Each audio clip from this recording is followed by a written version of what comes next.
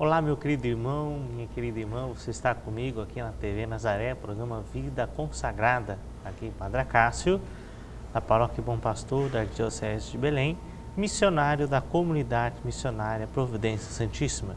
E hoje nós temos a oportunidade de poder conhecer um pouquinho da vida do Padre Djalma. Tudo bem, Padre Djalma? Graças a Deus, tudo bem. Uma alegria estar aqui com você, já que estamos ligados à Providência também. Sem dúvida nenhuma. E, Padre Djalma, onde o senhor nasceu?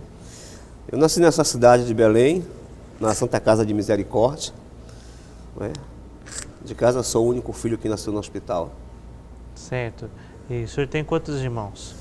Atualmente estou com três irmãos, que um Deus levou, nós éramos cinco. Certo.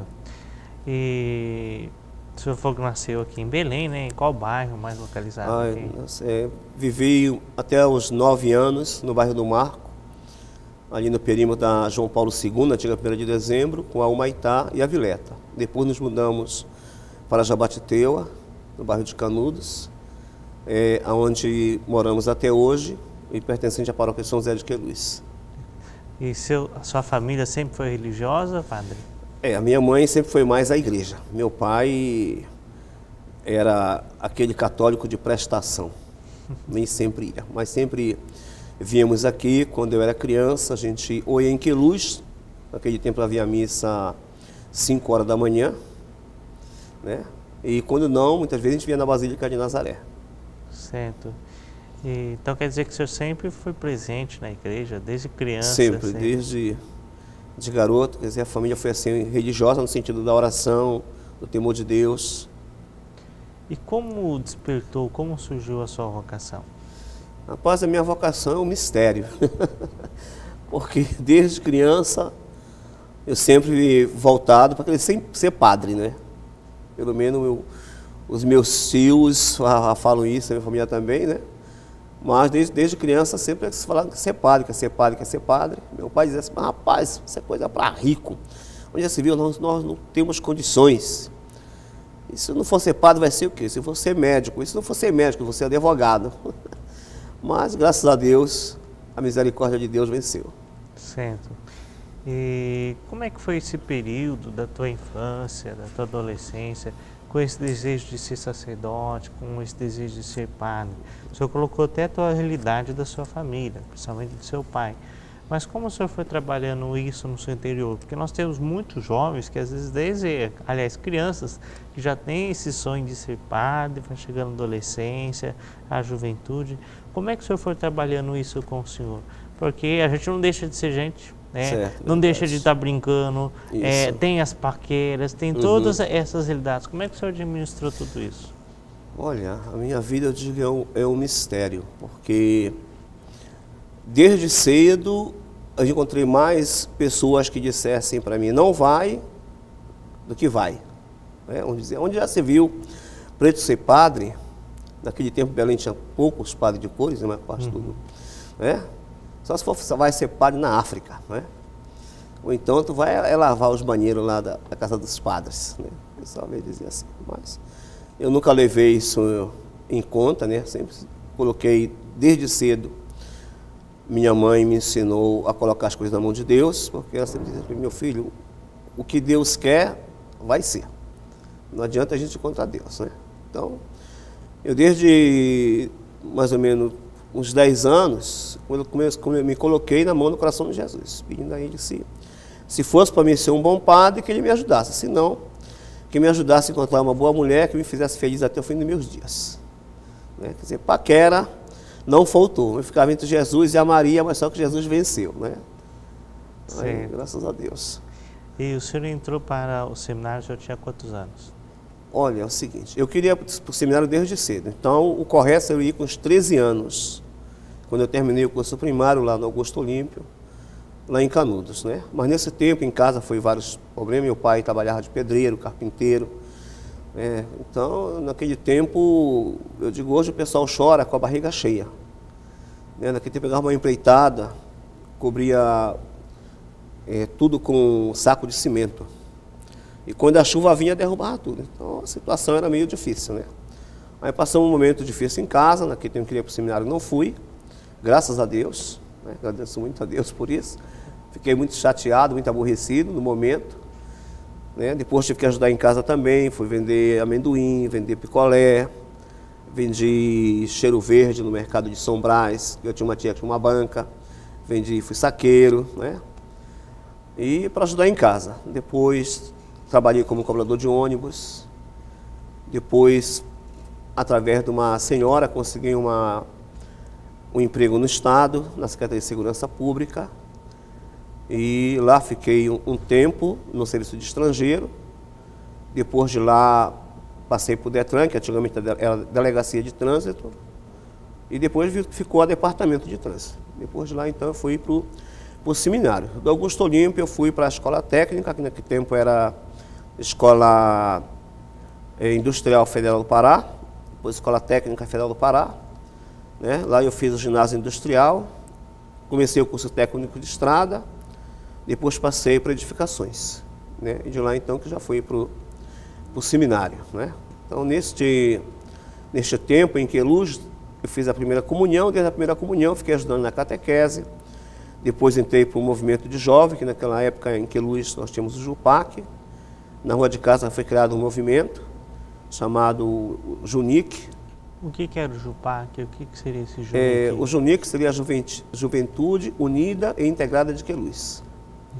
E o JUPAC é Juventude Paroquial de Queluz. É assim, tudo referente a. Era diferente. A na 1 de dezembro havia o MOPAC. Né? E ali na Capitão Reis, o Ajunque. Então nós éramos quatro grupos na, na, no tempo. Certo. É. E volto a perguntar, então nesse período o senhor entrou com quantos anos no seminário? Eu estava mais ou menos, eu creio que com 20, 20 22 anos. 22 anos. É, porque com 20 anos eu entrei para os providentinos. Né? O, o providentino foi o tempo que, que, naquele tempo também na igreja não havia pastoral vocacional, né? Uma vez eu falei para o Frei, disse assim, Frei, como é que a gente faz para ser padre? Isso não é para ti, rapaz. Aí eu peguei e fiquei escaldado, né? Uhum. Depois, numa missa da juventude aqui durante o Círio de Nazaré, né? Teve uma missa muito bonita mesmo, né? E eu disse, agora eu vou. Eu fui confessar, aproveitei depois para perguntar para o padre, como é que a gente faz para ser padre? Para entrar para o seminário.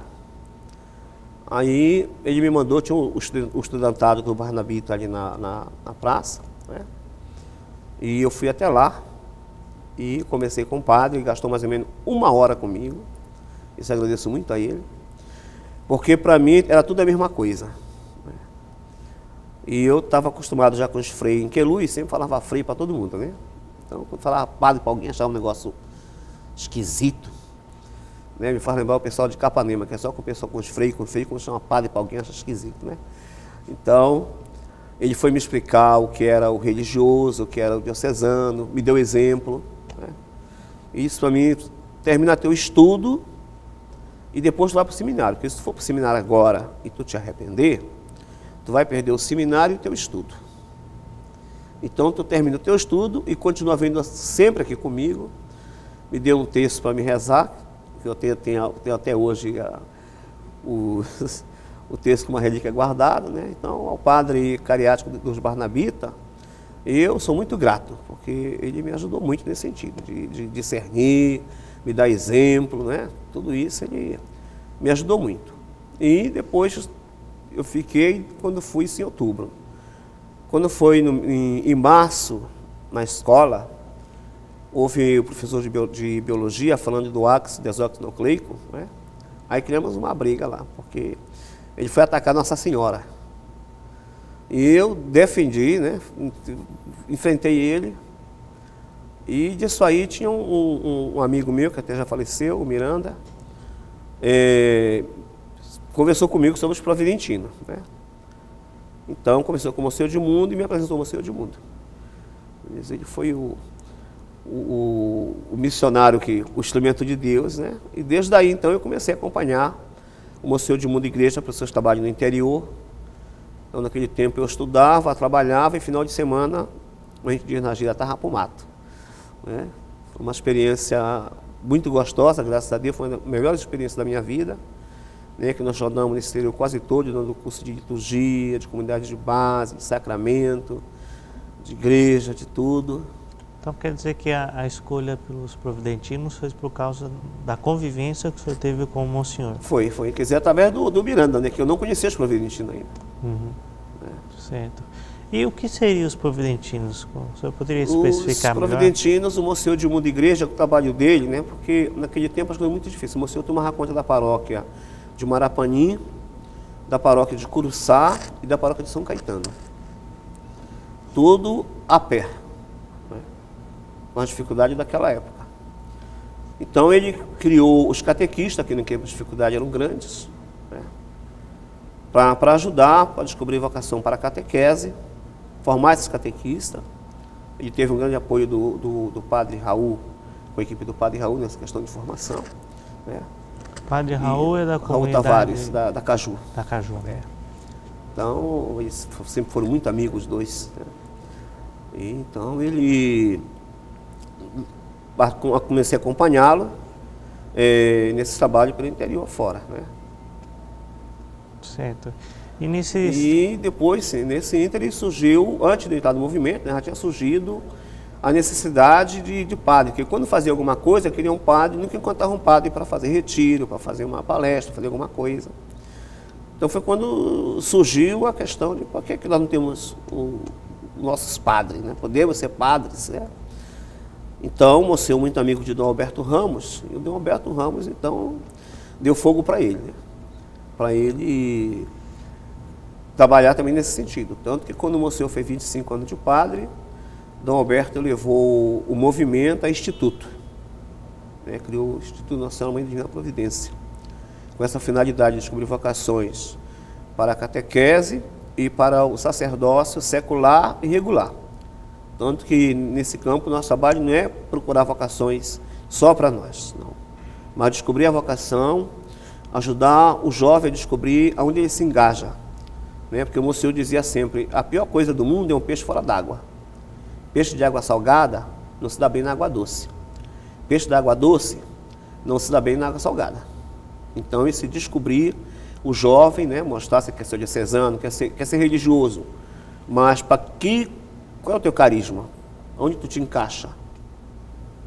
Né? Porque uma pessoa fora do lugar, ela vai fazer inferno na vida dela, na vida da congregação também. Ou na diocese também. Né? Então, teve, teve, sempre essa preocupação. Né? E depois fomos caminhando. É, aqui em Belém, fiz, fiz, fizemos um, um, curso no IPA de agente pastoral, fomos a primeira grupo do IPA de agente pastoral. Depois também Teve um estudo no IPA também de teologia, nós participamos um pouco. E quando terminamos os estudos aqui, através do Monsenhor Teixeira, de feliz memória, que foi, foi pároco de Castanhal, então nós fomos para Minas Gerais. Né? Em 76, era 70 anos da, da elevação da Arquidiocese de Belém como arquidiocese, que ela é gêmea de Mariana. Sim. E o Dom Alberto e o Dom Ascar assinaram o termo de igrejas irmãs. Né? Então, nessas igrejas irmãs foi o padre Joel e eu para a Mariana estudar para lá. Tá. Isso dá um importante de lembrar, né? O Dom Alberto que o senhor mencionou não é o Dom Alberto é, atual, nós né? O Dom Alberto está sempre Alberto marcando a nossa Ramos, vida. Né? É, aqui. E um detalhe, Padre Jalmo, o senhor falando do Providentinos, né? Eu gostaria que o senhor especificasse melhor qual é, é, o trabalho específico dos providentinos, porque quando a gente fala de carisma, como o senhor estava mencionando agora há pouco, né, você sempre tem que encaixar o sujeito com aquilo que ele se identifica, né? É. é como que alguém ia poder perceber, eu me identifico com os providentinos? Qual, quais são as características próprias dos providentinos? É, o nosso trabalho é justamente a catequese, né? Nós fomos criados para é, conhecer a Cristo e fazer o Cristo conhecido de todos, porque ninguém ama quem não conhece. Então, esse ajudar. Depois, a preocupação do Museu de Mundo era que nós falássemos a linguagem do caboclo. Né? Porque às vezes o, o padre fala numa linguagem alta e o povo sempre não entende. Sim. Mas que a gente procurasse ser e dizer que a gente fosse como uma máquina de moer carne. Né? Dizer, se a carne é de peito, para comer, assim é difícil. Mas passa na máquina de moer carne, até uma pessoa que não tem dente é fácil de comer. Né? Então, explicar as coisas, né? Como Jesus usava as parábolas para evangelizar. Ok. Então a preocupação é essa. E diante dessa mesma realidade aqui, eu pergunto também assim, tendo a vista do trabalho de vocês da, da catequese, então seria também não somente da catequese, mas seria formar catequistas. Formar Esse é catequistas, descobrir, animar e formar catequistas. Certo. E há quanto tempo já, já existem os providentinos? Olha, nós vamos fazer 40 anos, né? Que o movimento foi criado, né? Quer dizer, co- como reconhecido, vamos dizer assim, né? Porque o trabalho do Monsenhor começou em 1967, né? no interior, e sempre lutamos com muita dificuldade, né? E hoje em dia eu diria até mais ainda, porque não só a dificuldade financeira, né? Mas às vezes também de pessoas, porque Hoje parece assim como a- os casais não querem mais ter filhos, só é um dois feijão com arroz, como costumo dizer, e às vezes estragado ainda. Né? Então a disponibilidade também de pessoas para se dedicar ao serviço da igreja, assumir compromisso, se torna um pouco mais difícil, porque o jovem, a maior parte hoje em dia está escola, convênio e tantas atividades que às vezes não tem tempo nem para si mesmo. Certo. Ok. Então nós vamos para um breve intervalo, gente. Fique, cono- fique conosco aí para conhecermos melhor ainda sobre o Padre Djalma, sobre os providentinos. Você está comigo aqui, Padre Acácio, na TV Nazaré, com o nosso programa Vida Consagrada, onde nós estamos entrevistando hoje o Padre Djalma, ele que é Padre Providentino, falou que, dizia no bloco anterior para nós, é sua família, né? Uma família de oração, sempre conduziu o Senhor da igreja, cresceu ali praticamente né, a sua fé ali no Queluz e pôde descobrir, então, através né, do, do Monsenhor, né, a oportunidade de trabalhar a sua vocação dentro do carisma providentino. Falando ainda um pouquinho dos providentinos, porque isso está ligado à história do, do sacerdote, do padre Djalma, né? É, como que é a vida do dia a dia do providentino, a- a espiritualidade? Olha, a nossa vida no dia a dia, né, como, como padre, são as, as ações, o ofício, né? Nós temos uma devoção muito grande à Nossa Senhora, né, de uma particular Nossa Mãe da Divina Providência, né? Daí a gente tem que procurar rezar o texto todo santo dia, né? E depois a questão também de se aprofundar, estudar, para que a gente possa transmitir melhor a palavra de Deus, né, estar por dentro também do que acontece, porque a gente tem tudo isso, não se pode viver a fé separada da vida. E hoje, mais do que nunca, a necessidade da gente estar é, integrado nessa fé e vida, na vida do povo, é, nas dificuldades que, que as pessoas têm também hoje em dia, tudo isso que está acontecendo. Para que a gente possa também ser a, aquela luz, né? aquela pessoa que semeia e que orienta também. Sim. E o providentino passa pela mesma etapa de, de propedêutico, filosofia, teologia? Sim, sim, o nosso seminarista também, passa todo o propedêutico, né, porque quando a pessoa chega no movimento, ele fica um tempo como simpatizante, né, como uma pessoa que a gente costuma dizer assim, está tá namorando com o movimento, né, aqui é que é meu lugar, fico, não fico. Então, depois desse tempo, é, ele vai ser professo, né, ele vai então receber o, o crucifixo, para ser realmente providentino de fato. Né? Então ele primeiro vai ficar um, um, bom tempo ali, vai ser também estagiário antes de ser professo, que ele vai fazer o estágio, vai pegando missões, vai acompanhar nas paróquias, que todos eles fazem pastoral nas nossas paróquias. Né? É. O senhor colocou uma coisa que é interessante, né? Por exemplo, ele recebe um sinal, né? Que é, É. que é a cruz. É, tem alguma marca específica para a gente saber quem é um providentino ou não? Tem alguma roupa, é, alguma túnica, um batina, alguma coisa que Tem, quer diferencia dizer, a nossa outros? batina é uma batina branca, né? Que nós, nós usamos a batina branca e o crucifixo, né? Com a, a- o cordão amarelo e branco, quer lembrar Mateus, não tem ouro nem prata, mas tudo que, aliás, Pedro, né? Com aleijado, não temos ouro nem prata, mas tudo que temos, temos Jesus Cristo. E depois a- a- o respeito, a obediência ao Santo Padre e à Igreja. Então, por isso da batina isso, branca. o- a batina e o, o crucifixo é amarelo e branco. Certo. E o senhor foi ordenado com quantos anos, padre? Eu estava com 28 anos. Ordenou bem jovem também, né? Meio rodado. É. E por onde o senhor já trabalhou como sacerdote? Quais foram os É, lugares? como, como as minhas paróquias foram poucas, né? Que eu fiquei 11 meses como vigário paroquial em São José, em Castanhal. Depois vim para São Isabel do Pará. né? meu abraço para o povo de São Isabel também. E onde foi uma experiência muito boa, né? Que nós ficamos lá, tinha o senhor Giovanni Brocardo, que ele é o antes de mim, ficou como pároco emérito, mas foi um amigo, um pai para mim, graças a Deus. Né? Quando eu fui para lá, Dom Roberto Rome ficou preocupado, porque se ia dar certo, né? eu mais assim, feito o, freio, o acelerador e meio feito freio, mas graças a Deus nós nunca tivemos problema não. Ele me deu um exemplo de um homem santo e de muita humildade também. Mas sempre a gente conversava muito, fazia refeição junto e sempre. Foi um amigo, pai e um irmão para mim, né? Graças a Deus. E depois de lá eu fui para Roma, passei dois, dois anos, quase dois anos e meio em Roma, juntamente com o Monsenhor Posidônio. O Monsenhor Posidônio foi fazer História e fazer Teologia Moral. Né?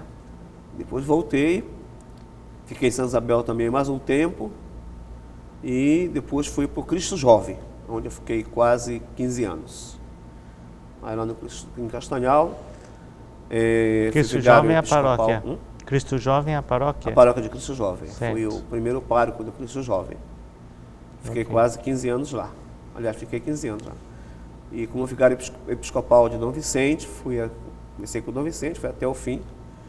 Depois o Dorani ficou, me deixou ainda, depois a Castanhal virou diocese e evaporou-se, né? o vigário episcopal. Certo. E então, eh, de lá, quando vim para cá, Dorani me deu a paróquia de Santo Afonso, né, no Pratinha. Também é a, a primeira paróquia. Né, tanto que as pessoas dizem que bom é a primeira paróquia. Eu digo, eu prefiro a velha. É mais fácil arrumar a velha do que arrumar a nova, porque a nova é igual menino novo, dá muito trabalho. Ok. Padre, eh, falando então um pouquinho da sua vida sacerdotal, senhor, embora você falou que tinha poucos, mas passou por vários lugares, né? Então, eu gostaria que você contasse a experiência de cada um, né? Então, primeiro lugar onde você trabalhou, 11 meses, eh, o que te marcou lá como a vida sacerdotal, né? Como sacerdote na sua primeira paróquia? Olha, lá na, em Castanhal, na São José, como vigário paroquial, eu fiquei responsável pela pastoral de conjunto né, da, da, paróquia. Né, e ao mesmo tempo fiquei responsável também, naquele tempo não, não era. Não era forania, não era outro nome que se dava, né? Antes também de. de. de região episcopal, era outro nome, né? Esqueci Sim. agora o nome. Fiquei responsável também, né? De, de, de, de animar a, a parte da, da pastoral de conjunto. né? E ficamos na matriz, Castanhal era uma paróquia só, e nós atendíamos as, as comunidades. Então foi uma experiência também muito boa, né? tanto para o Padre Joel como para mim também. Foi um momento, uma conversa com o Monsenhor Teixeira, graças a Deus. Foi muito boa também. Certo. Depois, em Santa E Isabel. Depois, São Isabel do Pará. eh, quando a gente chegou para lá, muitas coisas de Castanhal, levei para lá um movimento de encontrista, de encontro com Cristo, que tem o masculino, o feminino, para senhor e para senhoras. né? Ele seria o cursilho ou não? É, é mais ou menos um- uma cópia do cursilho. Ah, é? É. Então, com isso a gente conseguiu mover a paróquia São Isabel toda, graças a Deus, né? animar a catequese também. Depois tinha muito problema de alcoolismo, nós apoiamos muito a ar, graças a Deus. Então, é, por isso que eu digo que foi um dos melhores momentos da minha vida, né? que a gente conseguiu animar as comunidades, tem várias igrejas que nós começamos lá e depois já estão prontas, outras comunidades ficaram ainda sementes e outras surgiram depois que eu saí. né? Depois no Cristo Jovem, como paróquia nova, animamos também o movimento de encontrista, né? a pastoral familiar, a catequese, né? a pastoral do dízimo também. Fomos. Foi uma, uma experiência muito boa, né? porque lá eu tinha quase 30 ministros da Eucaristia, muitos meus que foram meus ministros lá, tinha dois ministros do batismo também, alguns já são diáconos, uns deixei já preparado, caminhado, né? hoje já são diáconos permanentes, graças a Deus. E Castanhal também saiu mais da paróquia. E, trabalhando comigo ficou o Padre Elias, que você conhece, né? Padre, depois está o Padre Ivan, que conviveu comigo também. E graças a Deus, e outros que estavam aí, que queriam ser padre, porque eu, eu nunca fiz pressão, não. Procuro orientar, ajuda a pessoa a discernir aí se você quer. Então, graças a Deus, vocês já estão formados aí, estão com curso universitário, então a gente se alegra com, com tudo isso, por ter parte na vida de cada um também na caminhada, né? Sim. E aqui na, na Pratinha, nós estamos assim também trabalhando, porque foi um trabalho assim difícil, devido a cada comunidade sente uma paróquia, né? cada um pensar só no seu umbigo. Então, nesses seis anos de trabalho, de conscientização, algumas coisas já mudaram. Ela não chegou ao ponto que devia chegar. Né? Mas eu, quando o Dona Ali pediu para ir para lá, eu disse assim, olha, em 10 anos essa paróquia aqui como ela deve ser. Né? A mesma coisa para o Dom Alberto. Né? Se vai me deixar 10 anos ou não, não sei. Mas, graças a Deus, alguns avanços nós já conseguimos dar.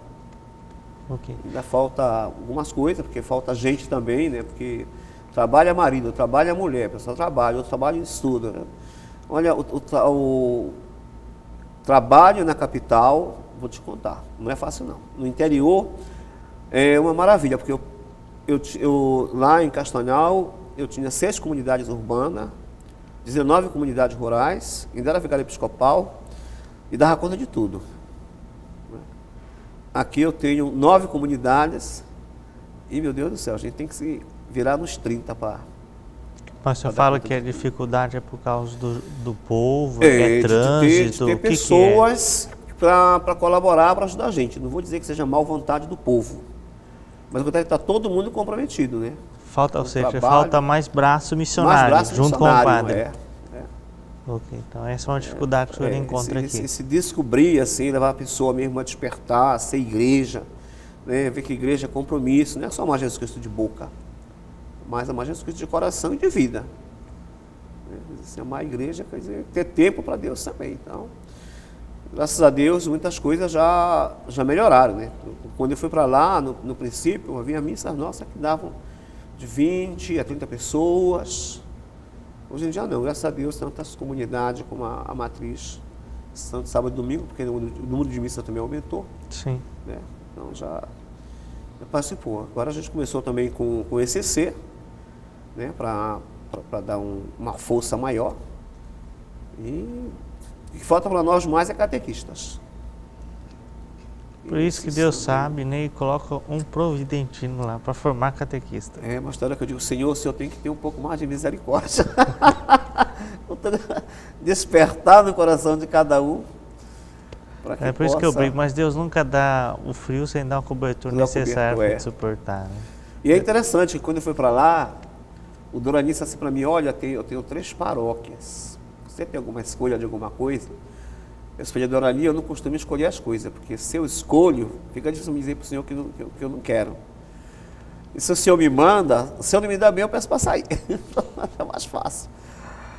Aí ele foi e disse assim, olha, é um lugar meio difícil, falo que é muito perigoso, não sei o quê. Digo, bom, seja o que Deus quiser. Eu vou, se eu não gostar, só se prepare. Mas graças a Deus, o povo da Pratinha é um povo também muito bom, muito acolhedor. Né? Carinhoso. Carinhoso também. Cuida bem do seu padre? Graças a Deus cuida. Né? A gente não agrada todo mundo, mas eu, nem Jesus Cristo agradou.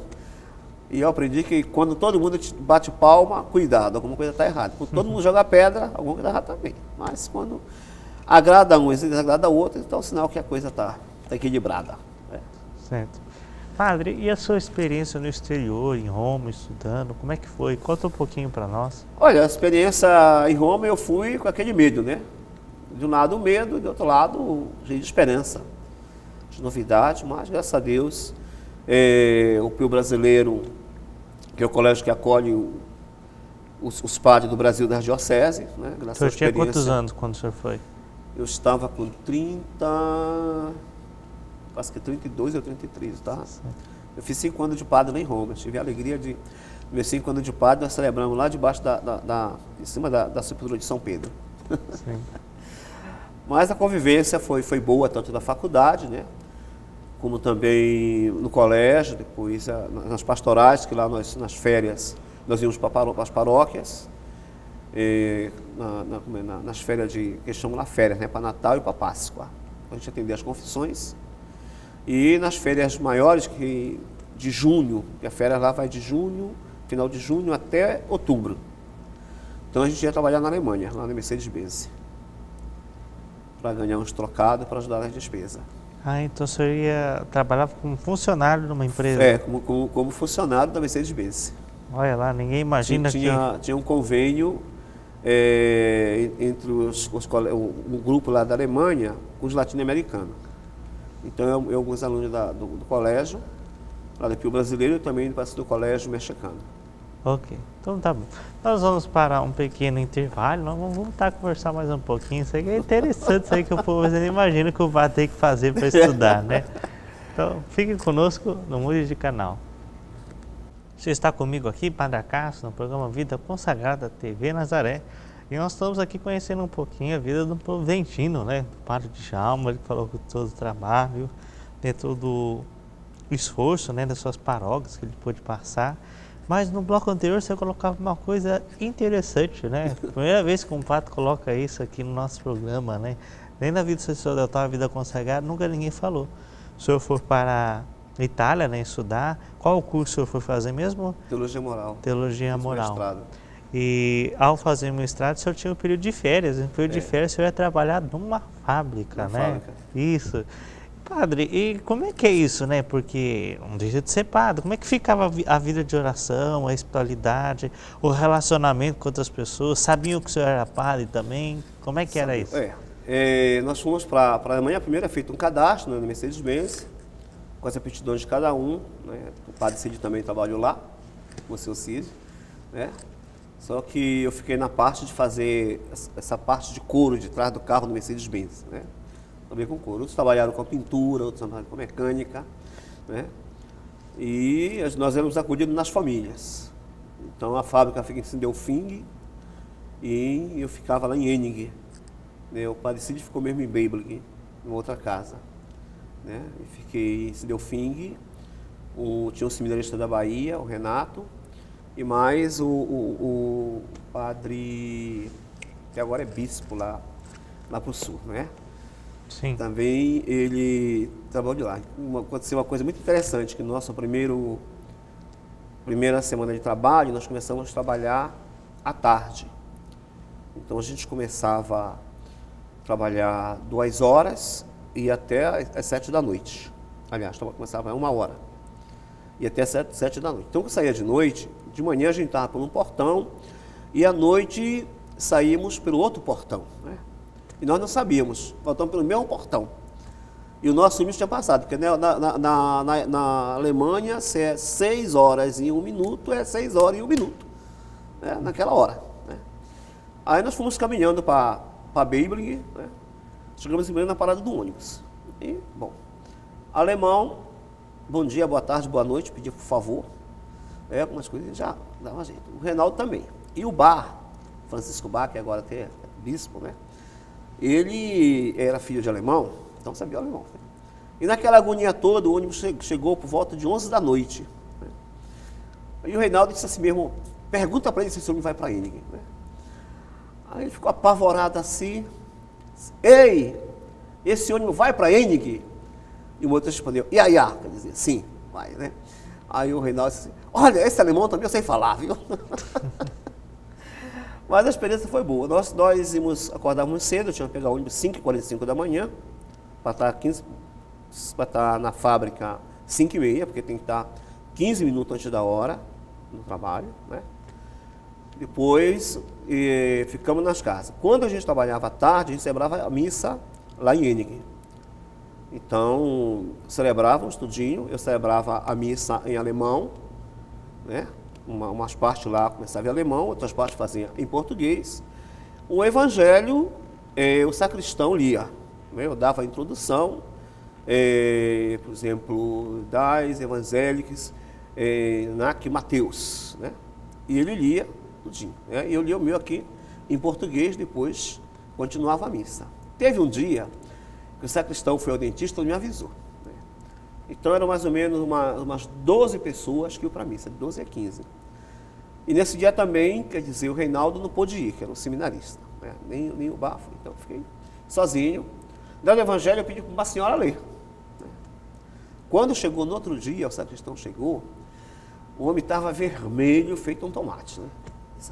Dais evangelho de Frau Nixi, Nixi, Nixi. Quer dizer, leu o evangelho, mulher, nunca, nunca, nunca. Né? Bom, como eu não dominava o alemão, né? Aí eu fui atrás do, do na casa de, uma, de outra amiga lá, da Astrid, que a Astrid é, falava bem o português, porque na casa que eu estava eu me comunicava em italiano com a dona da casa. Então a, a, Astrid foi lá com ele, aí brigou com ele, né? E disse para ele, porque se o Papa tivesse aqui, ele também não soubesse falar, ele ia fazer a mesma coisa que eu fiz. não fiz nada de errado. Não adiantava eu ler o Evangelho em português pessoal, se o pessoal não sabia português. Né? Então dei a introdução e a mulher leu o Evangelho em, em, em, em alemão. Em alemão e pronto, depois eu continuei. Foi uma experiência que marcou. Foi uma experiência que marcou, né? Então, são coisas que... Uma experiência muito boa, a gente celebrava, sempre que no final de semana nós reunimos todos os estudantes brasileiros, nós éramos mais ou menos, acho que uns 30, celebravam numa, numa, numa igreja, no sábado à noite. E foi uma experiência assim, muito boa, esse, esse, esse trabalho na Alemanha, de convivência, de tudo isso. Bem, atualmente aqui também o senhor tem outras funções aqui dentro da Arquidiocese de Belém, além da paróquia ali da Pratinha, né? É, quais são as outras funções que o senhor tem? É, no momento, eu estou como assessor da Pastoral do Dízimo, assessor da Pastoral Familiar e da Dimensão Familiar. Certo. É, como assessor da Pastoral do Dízimo, é, o que cabe o senhor fazer? Qual é o seu trabalho? Né? O que, que o senhor movimenta? É, quer dizer, o assessor ele ajuda, ele colabora como se fosse um diretor espiritual, né? que acompanha, nós nos reunimos, nós temos o Eliese, que é o nosso secretário muito eficiente, graças a Deus, né? muito dedicado também, tem uma equipe toda que, que ajuda a missionário do dízimo, eu quero aqui meu, o meu abraço, o meu agradecimento ao esforço de todos, o carinho que cada um tem, porque é uma equipe realmente que, que trabalha, esforçada, criativa, né? E se esforça mesmo. Então, são, são, são muitos mesmo na, nas paróquias. Nós temos uma reunião mensal todo terceiro sábado, que é o primeiro momento de formação e o segundo momento mais de, de informação. Né? O que está acontecendo, os trabalhos. Né? Depois a pastoral familiar também, graças a Deus, a, a, é muito boa, porque a pastoral familiar ela trabalha com tripé. Ela, nós temos o, o pré-matrimônio, que é aqueles que se preocupam com o curso de noivo e com os que querem casar. Nós temos é, pré-matrimônio, depois temos a, a, equipe que trabalha mesmo com os casados, com os casais, com casamento. E temos também os casos especiais, né, que é para os casais de, de segunda união para frente. Né? Então eu digo, é como se fosse uma casa. A, a, o, o pré-matrimônio é como se fosse o alicerce. Né? Depois, os que se preocupam com, com, com o matrimônio é a, a, casa. E os casos especiais são os bombeiros que, que correm quando a casa começa a rachar. Né? Que vem para consertar, a defesa civil. E a dimensão familiar, ela abrange todos os que trabalham com a família. Né? Nós temos, esse, temos a pastoral familiar, o ECC, família de Nazaré, né? e o Bosco é coordenador. Nós temos também o grupo da renovação carismática, nós temos também Família Nova, temos também, eh, esqueci o nome agora, que eles trabalham com, com viúvas, com viúvas, pessoas solteiras, grupo da Esperança. Sim. O senhor colocou uma coisa que eu achei interessante, porque essa dimensão familiar é como se fosse uma espécie de uma pastoral de conjunto, é. mas para uma realidade específica, né? A, a, família. Padre, aqui o senhor me coloca uma situação que é interessante especificar e apresentar. Porque quando a gente coloca essas realidades, cada um tem os seus carismas, suas espiritualidades, a sua maneira de trabalhar. Né? Como que o senhor consegue é, interagir todos esses grupos, né? Criando uma unidade e ao mesmo tempo criando um respeito um para o outro para não cair, ah, o meu é melhor que o teu, né? Que isso é a maior, a maior tentação que eu falo que qualquer um tem quando está é, ligado a algum movimento, a algum grupo de serviço, algum trabalho, né, alguma pastoral. Como o senhor trabalha essa realidade? Olha, o trabalho não é fácil, que as nossas reuniões é reunião que nem sempre dá para fazer, que muitas vezes faltam, devido a outras reuniões que cada um tem. Né? Mas nós procuramos sempre chamar todos, né? É, e uh, batemos nisso, no respeito, porque nós temos que trabalhar juntos, cada um com seu serviço. Né? Então, daí colocamos São Paulo, o corpo tem muitos membros, porque cada um tem uma atividade. Né? Mas se cada um procura ajudar o outro, né? tem caso que vai para o ECC, porque o ECC, ele, muita gente confunde o ECC com movimento. O ECC não é movimento, o ECC é, é serviço, é despertar a pessoa para engajar nos movimentos, nos grupos, nas pastorais, nos serviços que tem. Né? Então não é ficar o, o movimento do ECC. O ECC é ficar sempre a cabeça. Né? Eu costumo dizer, o ECC é como o, vamos supor assim, o exército. Né? A pessoa recruta, vai, serviu a pata, serviu, pegou, cai fora. Vai ter guerra, chama todo mundo. O ECC é a mesma coisa, fez ECC, vai trabalhar. Vai ter ECC, chama para trabalhar no ECC. Né? Então não é um movimento. Né? Depois temos a, a, a, equipe de Nossa Senhora também. Né? Então, saber cada um jogar para cada casa. Esse caso aqui é para pastoral familiar. Esse caso aqui é para o ECC. Né? Esse aqui, onde é que vai, vai para a família da esperança? Então, saber orientar, se ajudar. Né? Tal caso, isso aqui leva para catequese. Isso aqui leva para o grupo de jovem leva para a pastoral da criança. Então, se, se, nós, nos, se nós procurarmos nos ajudar, então todos trabalham e o trabalho acontece. Aí senão fica igual uma feira livre. Cada um preocupado com a, com a sua mercadoria, como se fosse uma mercadoria. Quer dizer, todo mundo trabalha e não parece serviço. Parece que ninguém está fazendo nada. Mas quando as pessoas tomam consciência que é, junto, né, a comunhão, que fazemos parte do mesmo corpo, né, eu costumo sempre dizer, olha, cuidado, porque o Evangelho de Jesus naquele dia, muito, alguns vão dizer, Senhor, eu fiz tal coisa, Senhor, eu trabalhei, eu preguei, vão para o inferno, nem conheço vocês. Por quê? Não trabalharam com amor a igreja de Deus. Trabalharam para aparecer, trabalharam para sua vaidade, para o seu egoísmo, para o seu orgulho. Aí choveram no molhado, perderam tempo. Então, o Evangelho nos convida a agir com sabedoria, porque não é estar tá preocupado com o tamanho das coisas, com as obras que eu faço, né? mas Deus olha como eu faço. Né? Daí o Evangelho da, da viúva que deu só uma moedinha, talvez de 10 centavos, o outro deu tanto dinheiro, mas o que valeu foi da viúva, porque ela deu de coração, deu o que tinha, e o outro deu porque estava sobrando. Sim. É. Ok.